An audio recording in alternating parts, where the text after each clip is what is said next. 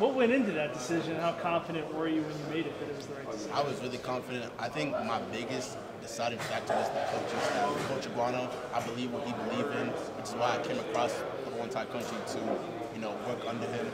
Uh, I believe in the program, and a lot of it also was geographical decision. I wanted to go somewhere warm for sure, somewhere. So that was my biggest deciding factor. Were you prepared for quite how warm it was going to be? Oh yeah, I love the heat. Like this, this is nothing compared to back home. The humidity, the humidity is definitely worse than this, uh, the dry heat. So I'm loving it. I'm loving it. Did you see this as, as an opportunity in the in the room too, positionally with some of the guys that left?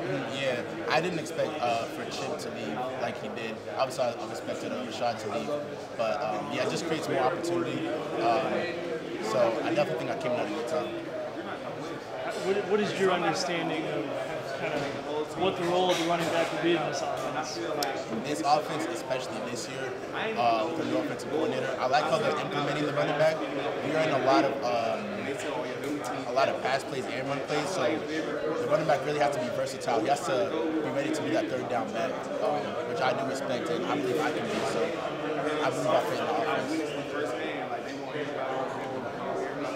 What are some things that you think you'll be able to kind of pick up on or take away from your fellow running backs or Daniyel and you know those guys surrounded by those guys? What they're gonna be like? So obviously, like X and Daniyel, they're more experienced.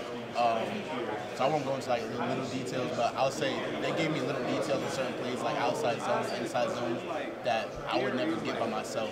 So just uh, like the experience and little details, they're helping me get better. So that's kind of what I'm picking up.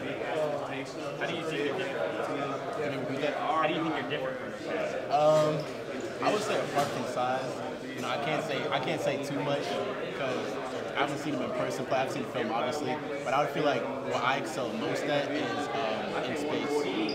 I know I made a lot of plays during the spring in space. You know, me catching a flare just out in the flats. That's what I'm most comfortable. I think that's what my uh, the biggest part of my game is. I feel like it's going to be kind of two-headed, three-headed monster. Is that potential? Or is it hard to know without starting camp? Yeah, I'd say it's hard to know. I, mm, honestly, I couldn't tell you right now. If you asked me that a little bit later, I'd be able to tell you. I, I don't know. Find out. a. Yeah. about yourself the most? Learned about yourself the most throughout this process so far? Not trying to be cliche, but uh, I am a hard worker. Although I need to pay more attention to detail. Um, I do know my body physically, and I know I'm going to be there physically. But I know I have to be there mentally especially in college. Like, in college, it's about the little details. So that's something I have to break up. So I know it's about myself.